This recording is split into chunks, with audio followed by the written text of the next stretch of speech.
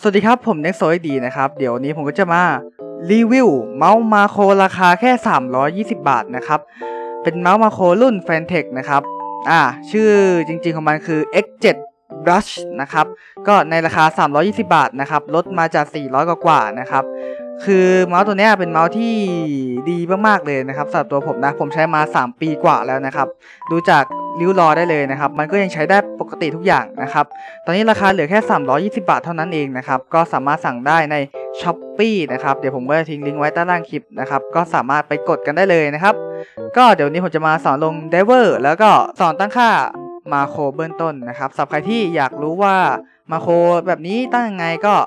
แบบนู้นแบบนี้แบบนั่น ก็สามารถคอมเมนต์พูดคุยกันได้นะ เดี๋ยวผมก็จะมาสอนคลิปหน้านะครับ เดี๋ยวไปดูวิธีการลง driver กันดีกว่าครับผม ไป let's go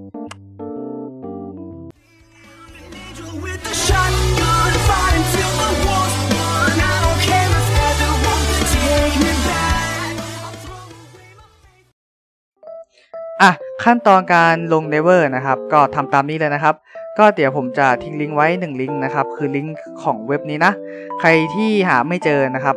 ใต้คอมเมนต์ครับผม หรือใต้เนี่ยใต้คลิปเนี้ยมีไว้แปะไว้อยู่นะครับ โอเค สามารถกดเข้ามาได้เลยนะครับ แล้วก็หาชื่อ X7 นะครับ อ่าเรื่องลงไว้เรื่อยนะครับ นี่ผมอันนี้นะ อันนี้นะ แล้วกด Windows ครับผม กดเก็บไว้นะ กดเปิดขึ้นมาเลยนะครับผม อ่ากด yes ไปนะครับ แล้วกดไปเรื่อยๆนะผมเน็กเน็กเน็กไปเลยนะครับ ง่ายๆการติดตั้งนะครับอะกดเน็กไปนะครับโอเคแค่นี้ครับผมติดตั้งเสร็จเรียบร้อยแล้วนะครับ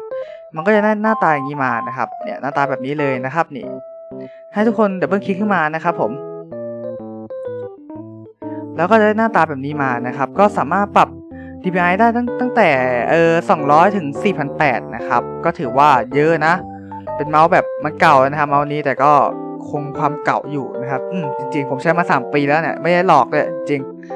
ก็ตอนนี้ส่วนตัวผมใช้ที่ 600 นะครับ ก็ตั้ง 600 ไว้นะครับ กด add นะครับ สามารถเปลี่ยนสีได้นะครับเนี่ยเลือกสีที่เราต้องการได้เลยนะครับ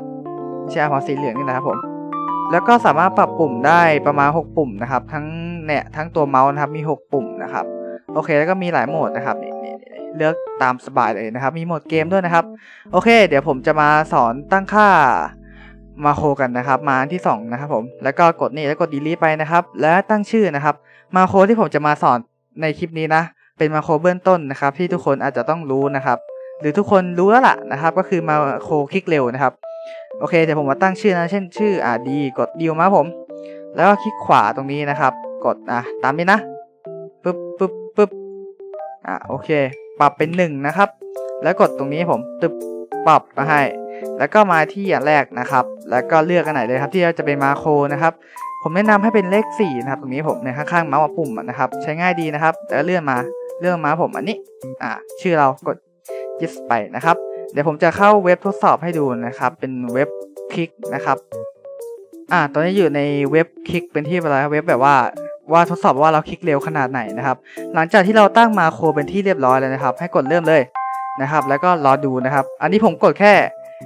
ครั้งเดียวนะผมไม่ได้กดย้ำๆเลยนะดูนะปึ๊บโคตรเร็วอะจริง อ่า โอเคครับผม กดเลยอะเราดูนะค่าเฉลี่ยนะครับ อ่า แล้วกดไป 73 ครั้งนะครับ ในกี่วิเนี่ยแปดวิเหรอ ไม่แน่ใจเหมือนกันนะครับ ก็ง่ายๆครับผมใครที่อยากได้เมาส์ตัวนี้มาใช้นะครับ ก็ใต้คอมเมนต์ครับผมใต้ใต้ลิงก์คลิปเนี่ย Shopee นะครับ ไปสั่งซื้อกันได้นะครับกำลังลดราคาอยู่เลยนะครับผมจาก 400 กว่าบาท เหลือแค่ 320 นะครับ มีหลายเจ้าหลายร้านนะครับ ก็สามารถเลือกดูได้เลยนะครับ Shopee โอเคสำหรับคลิปนี้ก็ไว้แค่นี้นะครับ เอาไว้เจอกันคลิปหน้าครับผม สวัสดีครับ